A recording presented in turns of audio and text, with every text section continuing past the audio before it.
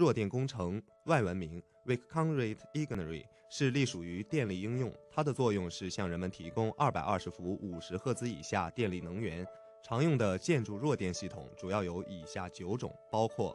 电话通信系统、计算机局域网系统、音乐广播系统、有线电视信号分配系统、视频监控系统、消防报警系统、出入口控制系统、一卡通系统、车场收费管理系统、楼宇自控系统。此外，还有电视会议系统、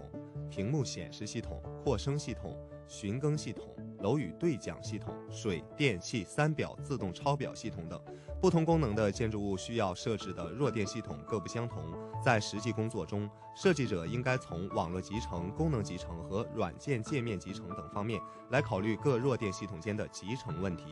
网络集成主要是从各系统的布线上来考虑，